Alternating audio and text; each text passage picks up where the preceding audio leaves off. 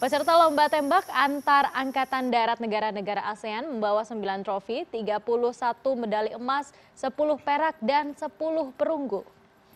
Kontingen yang berjumlah 62 personel berhasil meraih prestasi juara umum setelah memperebutkan tiga trofi di kelas materi senapan, dua trofi di kelas karaben, dua trofi di pistol putra dan senapan otomatis, serta satu trofi di pistol putri. Ajang yang digelar sejak 14 November lalu ini diikuti 10 negara ASEAN di antaranya Indonesia, Thailand, Filipina, Singapura, Malaysia, Vietnam, Myanmar, Laos, Brunei, dan juga Timur Leste. Kami bersyukur kami kembali tanah air dengan mengharumkan nama bangsa Indonesia.